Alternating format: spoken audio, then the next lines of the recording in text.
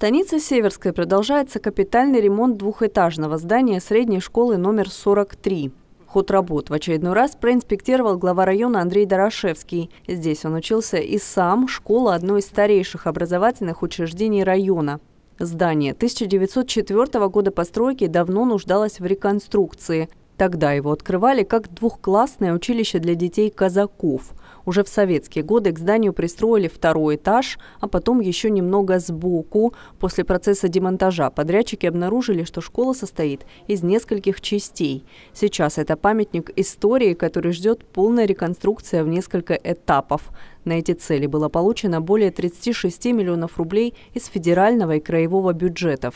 На сегодняшний день усилена конструкция стен, штукатурится помещение, заменены балки, стропила и кровля, ведется наружная отделка, в кабинете химии уложены трубы под воду, в том числе к ученическим столам.